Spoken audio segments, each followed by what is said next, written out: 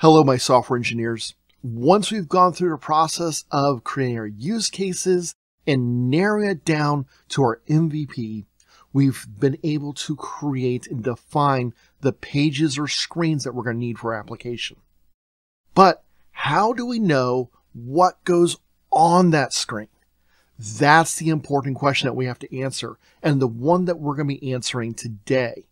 So I'm going to use a very simple tool to help us mock up. In fact, the name of this application is Mock Plus. It's a simple free tool that you can access. There is a paid version gives you some additional features if you want, but this is a simple tool we can use.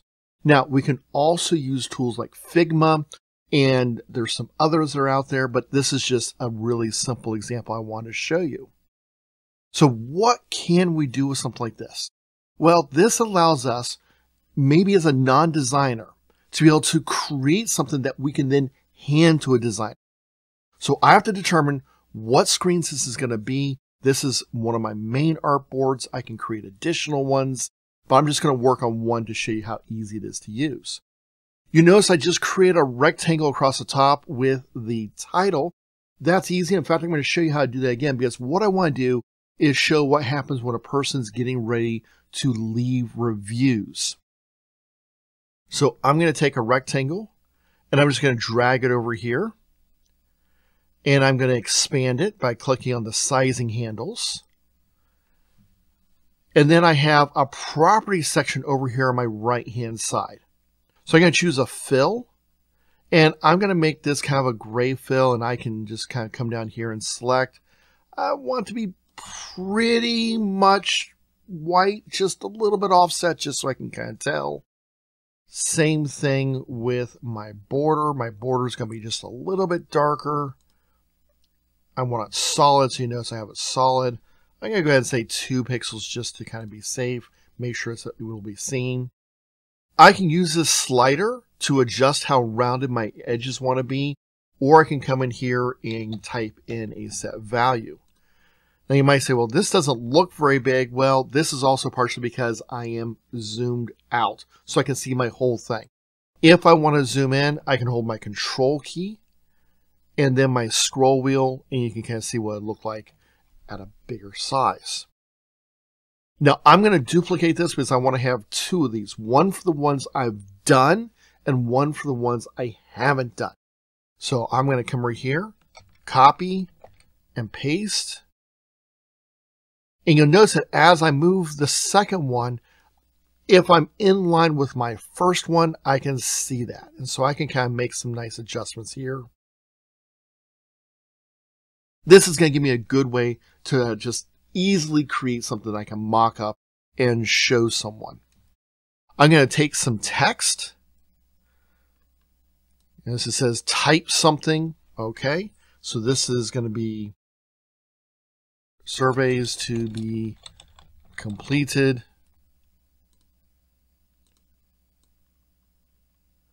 I'm going to center that. You notice that there's a line that came up. Take a text over here, drop it in place. Completed surveys. Once again, notice I can align it with my text and then I can have it aligned with the center of that box. So this makes it very nice and easy for me to work with. Once again, over on my right hand side, I can adjust things like color, font, font size, you name it. Got a lot of stuff over here on my property panel. Makes it very, very easy to work with. Next, I'm going to just put a line so it looks like it's a header.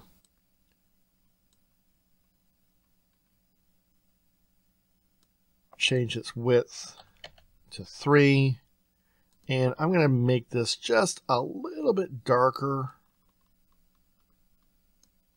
You can see now if I move off of it, you see it's clearly there. Once again, this sounds like a lovely thing to copy and paste. So I'm going to do Control C and Control V. If I'm on a Mac, I'm going to use Command, line that up like that. This is coming together pretty quickly. All right. I'm going to have some text, people that are done. So just once again, drag my text. This one I want to be a little bit smaller, so I'm going to choose 26 instead of 36. And I'm going to put in some fake names. John Smith. Now, what am I going to do? I'm going to do a copy and paste. In addition to John Smith, I'm going to have Mary Jones like that. Copy and paste. And I'll have one more person, Fred Williams. And select multiple ones like this. I can group things and align them automatically. Now, they're already aligned left, so there's nothing really there for me to look at. And then I'm going to choose however to distribute vertically. That's just going to make it so that they're evenly lined up, and I like that. Okay, I'm going to take this and copy these three names, paste them, and move this group over here. I can double click inside my text. James Jones. Okay, so I have three names, surveys to be completed, three that are completed. They're all different. That's good. I might want to change maybe their color just so I can kind of see like, oh, I don't have to do these. That's a decision I can make later on. I have plenty of extra room, so if I need to have more names, I can do that. But I'm also going to maybe want to have a button. Okay, click here to leave a survey. So I'm going to come over here, survey, and you'll notice it's kind of small by default. So I'm going to come over here, make that text just a little bit bigger, make my box just a little bit bigger.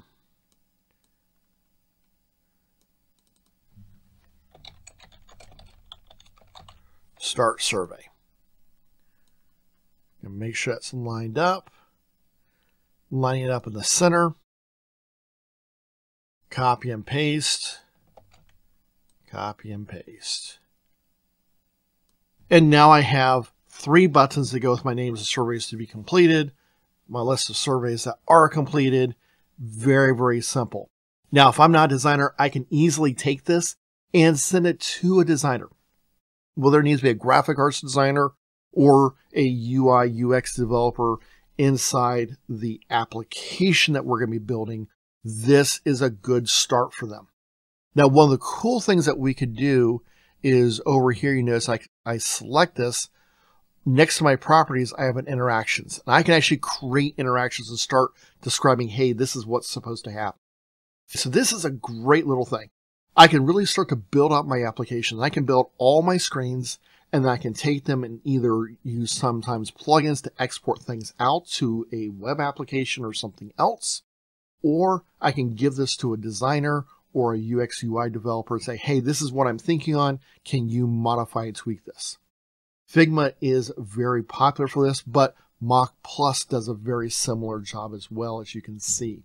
So this makes it very easy for me to design something, hand it off to other people, and I can keep going on. Or they can design it and I can review and say, hey, wait a second, we're missing this in our from our use case of what needs to show up and what needs to happen.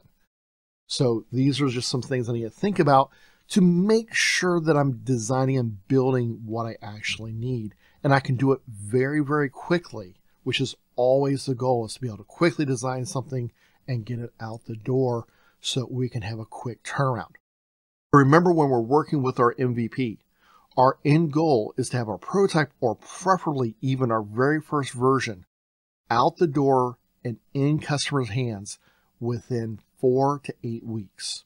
That's it. So we need tools that can help make us move quickly with this. So keep this in mind, take a look at it. If you need a link to us, I'll put a link in the video description below. For my students, it's on the assignment that is listed. Good luck in building your interfaces. We've got another video coming up on our next steps of building out our application.